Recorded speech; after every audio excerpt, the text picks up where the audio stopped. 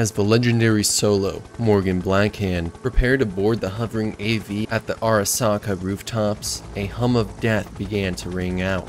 A distinct blend of metallic clunks and hydraulic hisses that formed a symphony of technological precision. Each step carrying a full Borg frame boasting the apex of cutting-edge cybernetics. Oh, Morgan. The haunting metallic voice cut through the air. What the? Morgan twisted around and rolled out of AV's open hatch, clutching a heavy assault rifle in his arms. It was Adam. But what caught Morgan off guard was his armor. One of the massive arms of the power frame Adam is wearing waves a jaunty hello. The biopod clutched in it, shaking about like a child's toy. Oh, I'm sorry. You probably don't recognize him from this angle, but this is your friend, Shaitan. Or what's left of him. I'm afraid Silverhand is in even worse shape. At least the Borg's still alive in here. I'd give him another good, uh, 10 minutes before the pod's battery dies. But to get to him, you're going to have to get to me. Morgan turns to the AV and shouts with urgency in his voice. Get the hell out of here, now. Chief, we ain't leaving you here, not like this. You sure as hell are. You have to make sure Spider and the others get out. Now go. I'll be along. In a minute. He was right. The crew on board had too much intelligence and value to risk in a futile confrontation. The crew would just get in his way. He watched the AV lift off, then turns back around. Cocking the rifle, he intones. Alright, Pipsqueak. Time to see if metal really is better than meat. Let's dance. Adam scoffed at such a stupid concept. What possible chance did Blackhand have? Adam wasn't only in a completely different power frame than normal, but there's no chance he could even recognize it. The Dai Oni was the pinnacle of, of Kei Arasaka's cyborg program. At a staggering 3.4 meters, the 1.12 ton monsterish power armor was dedicated to relentless destruction. There was no way Adam could lose, right? The two dove in a one-on-one -on -one combat, a running gunfight that saw Smasher's brute force on full display, and Blackhand's agility and precision dancing around his attacks, striking with calculated precision. Despite Smasher reveling in the chaos, Blackhand's heart wasn't entirely in it. He had been dragged into the fight with only one goal in mind, to get Adam to, to drop Shaitan's pod so he can scoop it up and make a break for it. He knew he couldn't afford to waste time. The arbitrary time he had allocated himself was completely shattered in moments. The building had begun to shake underneath the two dueling solos. The nuclear device had activated prematurely. Time was out.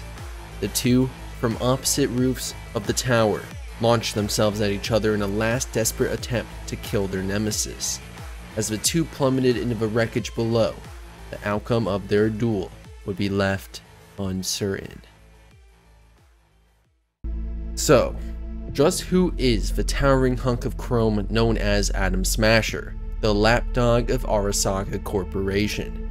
Well, he is a full Borg solo and rival of Morgan Blackhand, though Blackhand doesn't care much for the imposed rivalry. Smasher has very little humanity left to be seen, not that he had much to begin with. After being reduced to mush by an RPG blast, Arasaka offered him a choice, either pull the plug or become a full body conversion cyborg. With little to no options and a lack of care for his human side, he agreed and became more machine than man. Adam had no empathy for others, including his fellow employees, but Arasaka kept him alive, so he lives to repay their act by killing any enemies of the corporation that they put in front of him. It should come as no surprise that Adam prefers the missions with the highest civilian casualties, often going out of his way to inflict unnecessary amounts of collateral damage. So, what is the story behind the world's most merciless corporate cyborg and Night City legend? Where did he come from, and how did he earn his reputation as the NC Boogeyman? This is the story behind a worthless New York City muck turned cyborg. This is the unraveling of the truth behind Adam Smasher. But before we continue, I just have a quick word about this channel's partner, G Fuel. Their product line are essentially energy formulas that provide a great drink alternative that has the caffeine, taste, and zero sugar that I usually look for. I'm a huge soda drinker, so to have this alternative is honestly very beneficial to me. They even have a Phantom Liberty collector's box for pre-order right now in official collaboration with CD Projekt Red. You'll get a 40 serving tub and a 24 ounce stainless steel shaker cup, which has some cool Phantom Liberty art on it. You can always order the formula on its own, but I actually really like the design of the shaker. If you're interested in checking out their products, I will have my affiliate link down below, and if you end up wanting to buy some G Fuel or maybe even that collector's edition, and would like to support the channel while doing so, make sure to use code LayedBackGamers for 20% off as well. Alright, chooms, now we can begin. Adam Smasher was born sometime between the years of 1980 and 1993. While his specific age is unknown, his upbringing certainly is not, which is the only reason as to why we can estimate the period in which he was born. His upbringing found him within New York. His mother was Russian while his dad was from the South Bronx. From an early age, he was forced to fight for survival. To be weak was to wither away. This was the consequence of the harsh environment New York City found itself in. In the year of 1993, Colombian drug lords had detonated a nuclear device, destroying the World Trade Center and Rockefeller Center. As a result, the Manhattan borough became akin to a large combat zone. Immediately after the detonation, plans were made to rebuild Manhattan. However, the collapse brought these plans to an end with the eventual fall of the federal government, even resulting in Arasaka being brought in to protect the city from utter destruction. And in the middle of this collapse is where Adam found himself, the leader of a neighborhood combat gang. But what else was there but to kill? There never was much of a choice in Adam's perspective. The struggle turned him into an unempathetic psychopath. Eventually, the army had killed off the last of his members. His reaction was not what you'd expect, at least not from a normal person. He actually found himself jealous of the army's prowess and chose to sign up right away, realizing the far better weaponry the Marines had access to, not to mention the warfare he could partake in. But after only six years as a Marine, Adam was kicked out for insubordination and returned to New York City, where he would become a contract gun boy. It was a good life for Adam, as his lack of squeamishness and sadistic thoroughness brought in enough jobs to keep him in guns, gear, drugs, and brutal one night stands. Extractions, assassinations, harassment, and demolition jobs came and went, and he made some good euro doing it. It was an unsuspecting corporate reverse engineering op that would mutilate his life. An unnamed but major corporation had hired Adam and a couple other pros to snatch a prototype gizmo from a competitor. During this mission, he spared no expense in his brutality, firing off even hundreds of 7.62 rounds, but all in quick succession. Multiple RPG-A warheads tracked on Adam, turning the majority of his body into a lump of meat. His teammates had somehow managed to scoop whatever they could of Adam on the way out of the gig, which was a success. For even cyberpunk standards, what followed is shocking. The docs had managed to stabilize what was left of him, primarily his brain, after he had flatlined for over 8 minutes. The corp who'd set Adam on this op in the first place gave him a proposition. They figured he just walked into some bad luck and took interest in his resume, performance record, skill, and everything else he brought to the table. They offered a full body conversion in return for a 15 year employment contract. Seeing as Adam was mush confined to a life support tank and was getting all his senses through an interface, the options were essentially boiled down to this have the plug pulled, or become a walking arsenal in the line of work he was already in.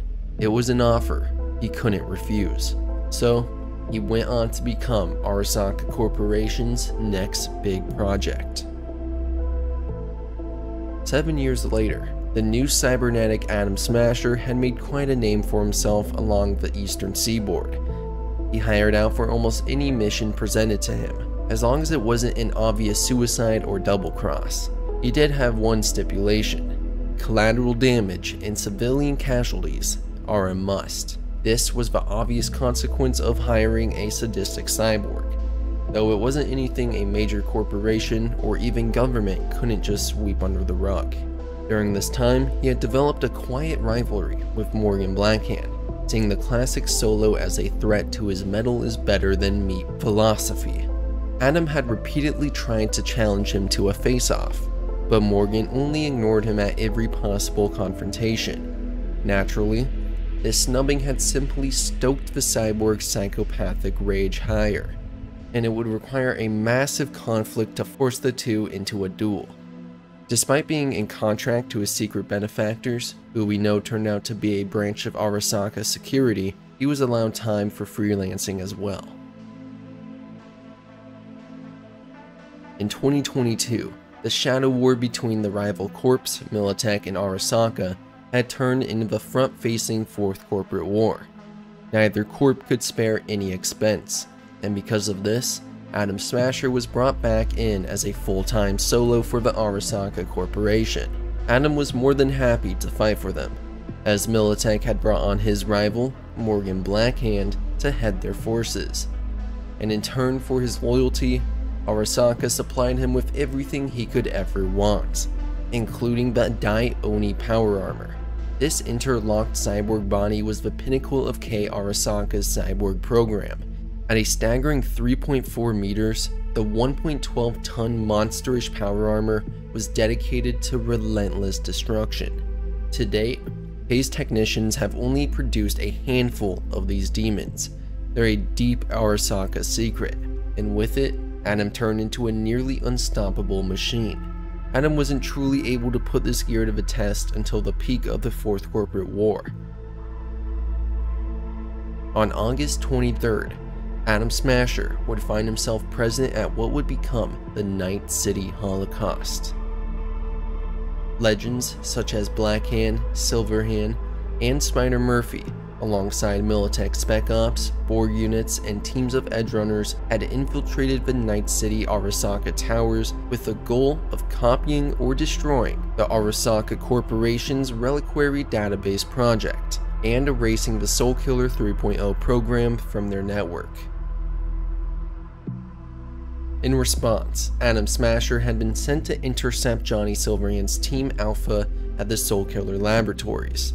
It was in the middle of their network infiltration that Smasher and a team of Arasaka troopers ambushed Team Alpha. Adam cut down various Spec Op troops with his arm cannon, maintaining complete control over the situation and blocking off any possible escape for the team. An unexpected voice rang out in challenge. It was Johnny Silverhand, a rocker boy that didn't have much of a place in a war zone like this. Standing in plain sight, he screamed at Adam, drawing his complete attention. Despite turning, ready to cut him down like any other annoyance, he hesitated, astonished at the audacity of the rocker boy, challenging him with weapons that wouldn't even crease his armor. So, he raised an arm. The auto shotgun on it opened fired, giving way for the APDS rounds to cut the young rocker in half. Johnny spun and fell to the ground, a surprised look on his face, the Malorian still smoking in his fists. It only takes a second. But a second is all Shaitan needs. The full Borg Black Ops specialist had previously camouflaged at the moment of the ambush, but emerged from the wall behind Adam at this opportune moment. With all his strength, he grappled with Adam, allowing the remaining members of Team Alpha, Rogue, Spider, and a crippled Thompson to make a break for the elevator. Adam lurched around, but Shaitan's grip is that of desperation, with his right arm hanging shattered and limp at his side, blasted by a grenade. It was only a matter of seconds before Adam gets free and takes them all down. His Eclipse covert conversion was no match for a power struggle against the Dai Oni armor. Finally, Adam managed to get the upper hand against Shaitan, hitting him and crushing his conversion. It wasn't enough to just disable or kill Shaitan though. He had an extremely special use for him. So, limb by limb, Smasher tore Shaitan apart until there was nothing left to guard his remaining biopod, the core unit of any full conversion that housed what was left of the individual. With Shaitan's biopod in hand, Smasher pursued Alpha Team to the rooftops. Upon arriving at the rooftops, Adam noticed Morgan Blackhand boarding an AV preparing for extraction. To grab his attention, he shouted his name, accompanied with a burst of auto gunfire at the AV's open hatch, getting Blackhand to roll out of it to avoid being hit. He waved Shaitan's biopod, making the proposition clear. In exchange for a chance at saving Shaitan, Adam wanted his long-awaited duel. Blackhand sent the AV on its way and turned toward Adam. He remarked about testing Smasher's philosophy for itself. Their fight would be short-lived and end abruptly when the nuclear bomb in Arasaka Tower prematurely detonated, leaving the outcome of the duel uncertain. After the bomb, Smasher survived and was retrieved by Arasaka, who healed him by replacing what little was left of the man with yet more machinery. Smasher was supposedly tasked by Saburo Arasaka to take care of Silverhand's body and his possessions, being one of the few people who knew where Johnny was buried. Shortly after, Adam disappeared for many years. However, this information is somewhat misleading. While yes, it's possible that Adam was able to dispose of Silverhand's body at some point, it wouldn't have been until at least the year of 2045. The reason this conclusion can be drawn is because of a Black Dog storyline contained in Cyberpunk Red. It details the story of Samantha Stevens, who had retrieved Silverhand's body from ground zero of the Arasaka HQ incident and preserved it for decades. It was only in 2045 that the body would be transported from her Night City garage to a friend by the name Angel in New Mexico. This is also when she would give one of the mercenaries, known as Zara, a Malorian that is assumed to have been Silverhand's. So, at some point after 2045, Smasher must have found more of Silverhand's possessions in Samantha Stevens' garage and around the country, so it's a possibility that during this time he tracked down his preserved body and possibly the mercenary Zara. Although he had sold much of Silverhand's items, he decided to keep some of them anyway, including Silverhand's Porsche and his signature gun, the Malorian Arms 2516.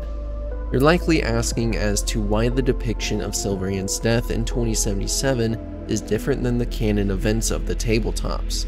To cut a long story short, his engram and memory aren't reliable. Not only could his memories have faded over time, but his engram had suffered radiation damage and was even possibly tampered with after the fact. I do have a video covering this subject in full that I will link down below. And yes, Cyberpunk Red and the rest of the tabletops are canon to Cyberpunk 2077. Here's evidence from Mike Pondsmith himself up on screen. During the time of Red, Adam Smasher met Michiko Arasaka, his boss Kei Arasaka's daughter, when she was a sheltered 17 year old girl. The two dated for some time after she had turned 18, something that her bodyguard, Kenichi Zaburo, disdained even threatening Smasher to mind his manners around her. Information you'll find extremely amusing when you realize that Morgan Blackhand actually considered Kenichi his Arasaka nemesis, not Smasher. If you're struggling to imagine Smasher being flirtatious in his Dai armor, don't worry, you're not alone. He actually would swap bodies during his time with Michiko, one that actually resembled a young, blonde, bit over-muscular Elvis Presley. If only we would have seen this in 2077. During the next decades, Smasher would come and go from Night City. He even teamed up with Rogue for a time after she sold out the members of her previous team to Arasaka. And sometime after 2050, Adam was finally assigned as Yorinobu Arasaka's bodyguard and was placed in charge of carrying out Arasaka's dirtiest work, gaining a reputation for expert management of loose ends. During this time, Adam made the Ebunike docks in Watson his base of operations. Jeremiah Grayson, one of his most loyal men, became his right hand, and for a job well done, Smasher gifted him Silverhand's unique pistol. So, despite having a reputation for being devoid of empathy for virtually everyone, his gifting of Johnny's Malorian to Grayson indicates that he does appear to have a level of appreciation for reliable subordinates. In 2076, Smasher was brought in by Arasaka counterintelligence agents Kate and Douglas to deal with the rampaging mercenary David Martinez, who was in possession of an experimental Arasaka cyber skeleton. When David arrived at Arasaka Tower, Smasher emerged to save Douglas's life and engage David. The two solos would have a brief exchange of insults before David would get distracted by Faraday, whom he had incapacitated moments ago, being taken away by Trauma Team. Smasher would take this opportunity to shoot David in the gut, resulting in him briefly going Cyber Psycho and activating his Sandevistan. Smasher responded by doing the same, and fired a missile that directly hit the back of David's exoskeleton with enough force to eject the latter, Lucy, and Faraday out of Arasaka Tower, the latter of whom fell to his death. David briefly managed to escape with Lucy, only for Smasher to follow, crushing Rebecca to death in the process. Falco attempted to slow Smasher down but was simply swatted away. David, on the verge of total cyber psychosis, activated his Sandevistan again, but was shocked to see Smasher utilizing one as well, with the latter scoffing that it was a rudimentary implant. You have a Sandevistan? A rudimentary implant. Lucy tried to quick hack Smasher, but this had little effect other than annoying him briefly before her cyber deck fries.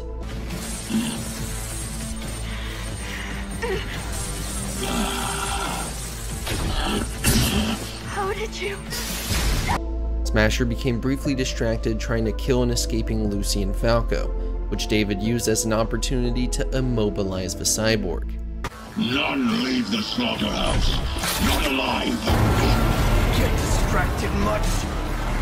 A furious Smasher responding by ripping off the anti-grav devices from the exoskeleton, causing it to crumble under its own weight, and proceeded to beat a now crippled David. After ripping the exoskeleton apart completely, Smasher stood over a limbless David, commenting that he had some fun after all, and mentions David could have become an interesting construct. As David accepted his fate, Smasher executed him with a shot to the skull at point blank range. By the time 2077 rolled around, Adam was still Yorinobu's bodyguard, usually accompanied him to the Konpeki Plaza pet house, even scaring guests, such as Evelyn Parker, who was visiting Yorinobu. A number of weeks after that visit, while the Mercs V and Jackie Wells conducted a heist for the relic in the pet house, Smasher accompanied Yorinobu as his father, Saburo, arrived to talk with him. Smasher and Saburo's bodyguard, Goro Takamura, left shortly before Yorinobu snapped and strangled his father. Smasher attempted to stop the witnesses, V and Jackie, but they managed to escape before he could catch them.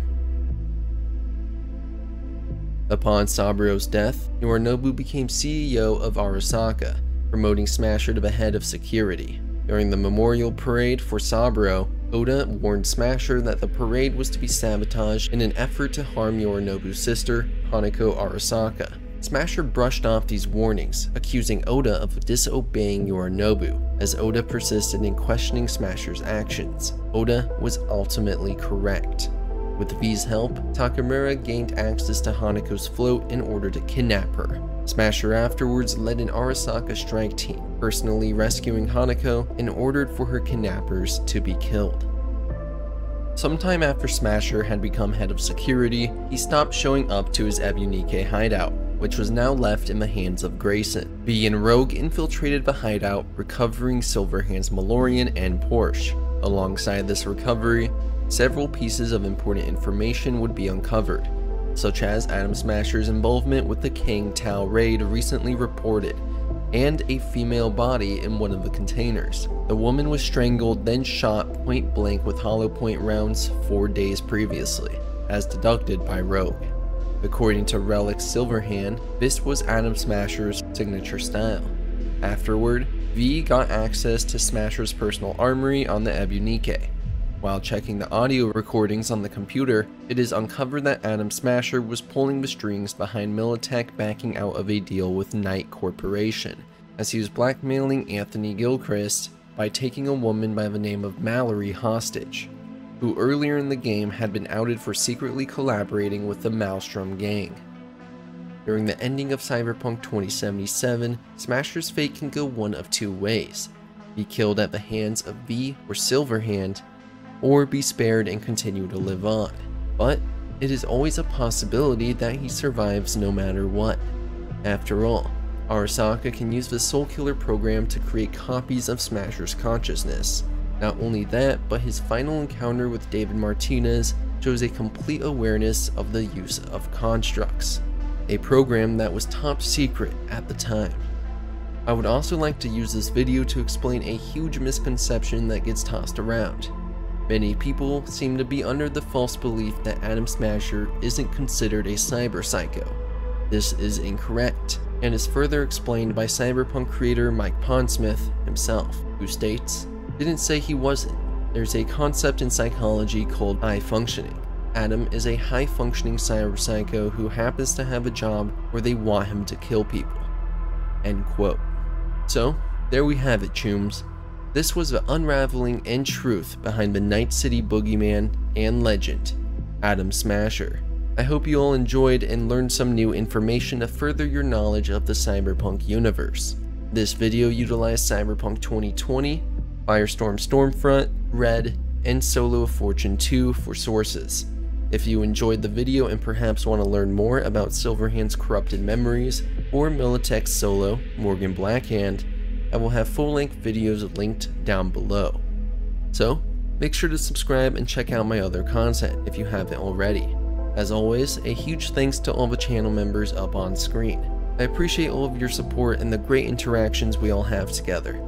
And a shout out to Laser Groove over on Twitter who helped me learn some tools to make the colored Adam Smasher thumbnail for this video. I'm seriously grateful to be a part of the community and a content creator for you all as well. Make sure to have a great week, and I will see you later, chooms.